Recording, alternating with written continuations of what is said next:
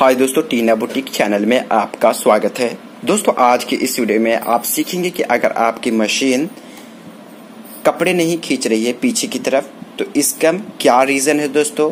इस वीडियो में इसी टॉपिक के ऊपर हम बात करेंगे कि अगर आपकी मशीन प्रॉपर कपड़े को नहीं पीछे की तरफ़ खींच रही है तो इसका क्या रीज़न है? इसकी टॉपिक पे आज बात करेंगे।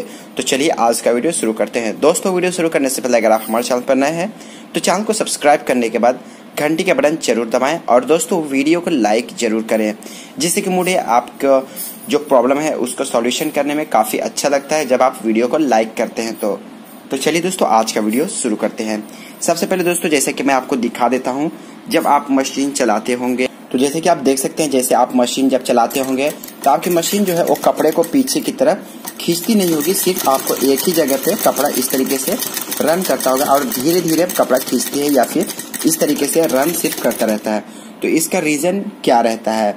अगर आपको जब मशीन चलाते होंगे तो आपको कई बार क्या करना पड़ता होगा कि जब आप कपड़े को इस तरीके से ऐसा फोल्ड करके आप मोड़ रहे होते हैं तो आपको पीछे की तरफ़ इस तरीके से हाथ लगाने के बाद इसको आपको खींचना पड़ता होगा। तो ये जो इस तरीके से आप, इस तरीके से ऐसे खींचेंगे, तब आपका जा करके मशीन प्रॉपर सिलाई करती है और फिर सिलाई हो पाती है। तो इसका क्या रीजन है? आप किस तरीके से इसका सॉल्यूशन निकालेंगे?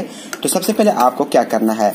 सबसे पहले आपको सिंपल और सॉल्यूशन बताता हूँ। सबसे पहले आपको अपना ये जो आपका मशीन का दाब जिसे कह रहे या फिर आप अपने जबान में चाप या दाब जो भी आप बोल सकते हैं इसको इसको आपको या फिर फुट बोल सकते हैं। तो इसको आपको ओपन करना है। तो चलिए फटाफट इसको ओपन करते हैं। तो जैसे कि आप देख सकते हैं, इसको आपको सिंपली आपको यहाँ पे जो स्क्रू ड्राइव दिया हुआ रहता है, इसको इस तरीके से आपको ओपन कर लेना है। ओपन करने के बाद आपको इस तरीके से निकालना है और यहाँ पे आपको देखना है। इसमें अगर आपको यहाँ पे यहाँ पे आपको निशान बन जाता है, जब आप मशीन चलाते हैं और जब आप कभी कभी मशीन में धागा भरते हैं बोबिन का तो यहाँ पे आप मशीन चलाते रहते हैं और नीचे की तरफ़ इसको छोड़ते हैं दाब को, जिसकी वजह से ये टकरा टकरा के यहाँ पे जो ये मशीन का दांत रहता है, ये टकरा के इसमें निशान बन जाता है, जिसकी वजह से ये सारी प्रॉब्लम आपको क्रिएट होता है।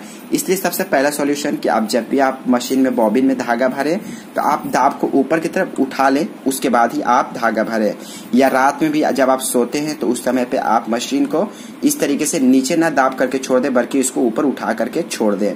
ओके और इसको अगर यहाँ पे दाग बन गया है, निशान तो इसको आपको रिप्लेस कर देना है, यानी कि दूसरा आपको दाब परचेस करके लाना है और इसमें इसको खरीद के इसको इसमें सेट कर देना है। तब आपका प्रॉब्लम 100 परसेंट सॉल्व हो जाएगा।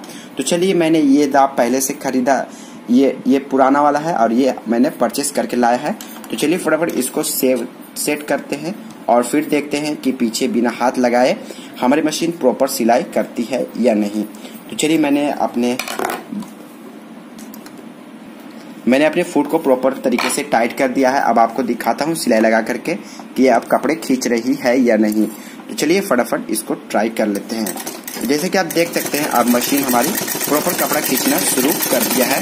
तो इस तरीके से आप, इन सारे प्रॉब्लम से आप सॉल्यूशन निकाल सकते हैं। तो दोस्तों, वीडियो को कर दीजिए लाइक छोटी सी वीडियो आपके लिए बहुत काम की है। तो वीडियो को लाइक करने के बाद चैनल को सब्सक्राइब ज़रूर करें और मिलते हैं नेक्स्ट वीडियो में, तब तक के लिए धन्यवाद।